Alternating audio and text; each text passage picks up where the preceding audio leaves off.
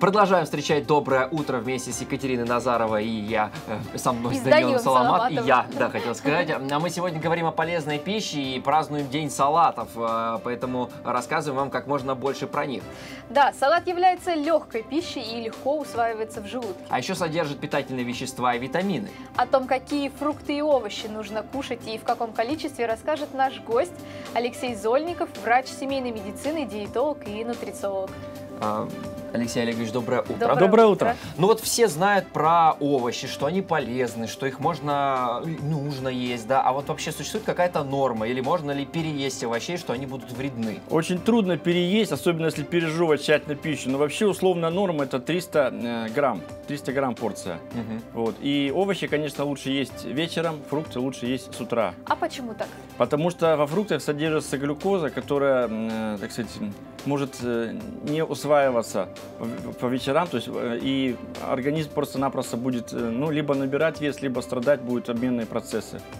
Я, кстати, не знал такого, что Э, нет, фрукты нельзя... Это фрукты, действительно причем фрукты нужно есть перед едой, Ага. перед едой, а не после, потому что иначе будет брожение процесс, это будет затруднять процесс э, пищеварения и здоровья в целом. Я еще даже слышала, что я вот очень сильно люблю зеленые яблоки, и особенно зеленые яблоки говорят, что нельзя есть вечером. Нельзя вообще есть фрукты. Откладывается не туда, не Да, нельзя вообще есть фрукты, потому что люди полнеют не за счет жира, не за счет еды, а за счет э, именно глюкозы, за счет э, избытка углеводов. Ну, а как следствие, просто из-за неправильного питания. То есть просто неправильно комбинируют фрукты, да, овощи. совершенно верно. И даже Да. овощи не все можно сочетать. Например, помидоры и огурцы Вот, вместе помидоры, есть огурцы, нельзя. Да, я тоже... Почему Нельзя. Так, так подождите, я, мне, мне сегодня просто день, Представляешь, день открытий. помидоры, огурцы, А салат, почему? который мы Почему? всегда Потому что помидоры это продукт кислый, там содержатся ферменты, которые разрушают щелочную краску. И огурцы это продукт больше щелочной, их лучше есть по отдельности. Вообще лучше смотреть э, по таблице, какая э, краска у продукта, либо кислотная, либо щелочная. А есть какая-то таблица? Есть специальный э, набор, да, какой, какой продукт к, какому к чему относится, к какой это группе, и сколько там процентов э, чего. То есть насколько они слабощелочные, сильнощелочные, то есть продукты. То есть это, Ну, это все в открытом доступе. это- это в открытом доступе, можно просто найти. Что нужно нужно это- ввести? Просто таблица щелочных продуктов. Да, да, то есть лучше есть щелочные продукты. То есть щелочной пища должно быть 70%.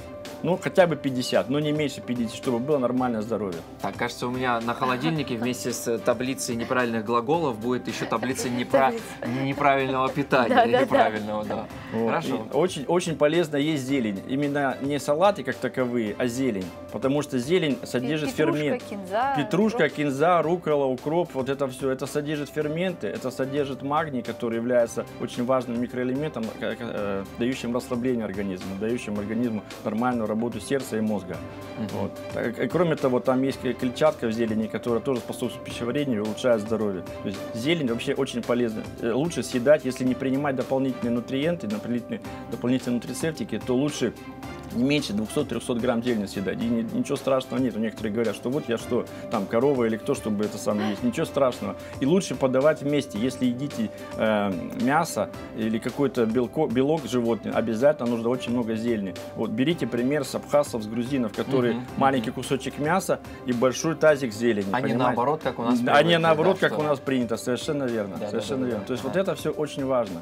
Очень важно поддерживать свое здоровье, очень важно соблюдать режим, очень важно дробно питаться с небольшими порциями, чтобы не перегружать поджелудочную железу, не перегружать, кстати, э, желудок. Но вот как все-таки быть людям, которые э, привыкли миксовать, вот действительно э, привычное представление о том, что салат это вот когда много всего нарублено, все смешано, то есть я так понимаю, Это что помидоры... Тогда нужно просто-напросто принимать растительные ферменты дополнительно. Но это отдельная уже тема. То есть растительные ферменты, они э, не- э, практически их в, в аптечной сети нету. То есть это, это, да, это через экомаркеты здоровья э, это самое продается. То есть именно растительные ферменты, они способствуют усвоению пищи. То есть что такое фермент? Это строители, которые помогают полезным веществам донести до организма.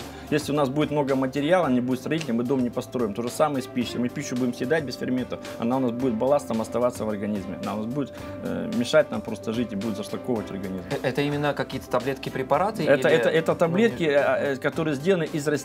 Из растений. Например, есть такая, такие таблетки папайя, да, которые делаются из э, э, фрукта папайя. Там содержится фермент раститель папаин, который хорошо расщепляет белок. Вот, то есть, э, вот один из примеров, да. А есть те, которые расщепляют не белок, а Есть, углеводы. есть, есть, есть, есть, есть. Это комплексные ферменты, которые тоже есть в экомаркетах. а, Вот.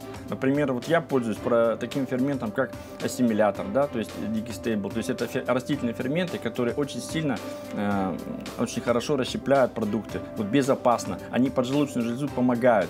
Животные ферменты, они отправляют поджелудочную железу в ком, то есть они мешают нормально э, перевариваться, и организм привыкает, то есть это, по сути дела, зависимость. В данном случае зависимости никакой нету. И очень полезно, вот если какие-то вот миксы, если какие-то нарушения питания, очень полезно именно вода, правильная вода и ферменты. То есть это очень большое дело. И еще, углеводное питание тоже мешает жить. То есть э, побольше э, белков, побольше полезных жиров омега-3 и поменьше, как сказать, углеводов, особенно простых углеводов. То есть это сахар, это сахаросодержащие продукты, это хлебобулочные изделия, это дрожжевой хлеб, это все, что мешает организму, все, что дает грибковую флору. А грибковая флора – это первый шаг к онкологии. То есть это очень серьезные вещи, но многие об этом просто не знают.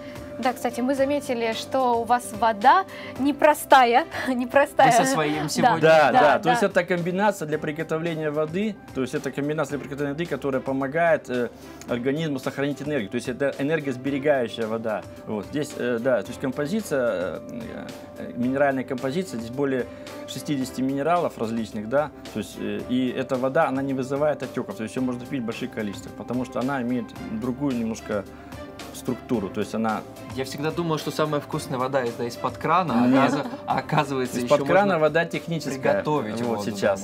Да. Мгм. И оказывается, у нее еще может быть совершенно другой вкус, это может быть Это, полезно. она, она, она правда вкусная, она другого воду. вкуса, она другого вкуса, просто другого вкуса. Она вкусная, ее хочется пить, ее хочется пить. Ну что, спасибо большое Да. вам, Алексей Ильич. Было познавательно для меня. То уж точно Кать какие-то а, лайфхаки а, знала, а я прям, ну вот теперь даже не знаю. Так я При- не придется- просто так я- придется эфир, заняться, э, питаться новым питанием. Я, я желаю всем э, поддерживать свое здоровье, правильно питаться, соблюдать ежедня, дисцип- самодисциплину. Будьте здоровы! Спасибо. Большое спасибо, большое. Алексей Олегович. Напоминаем, что у нас в студии был Алексей э, Зольников, врач семейной медицины, диетолог и нутрициолог. Ну, а мы продолжаем. Далее рубрика «День вы- э, «Дети говорят». Мы спросили у дошколят, из чего же их, по мнению, должен состоять вкусный салат. Вот сейчас э, мнение Алексея узнаем, Олеговича да. и наших маленьких зрителей сравним.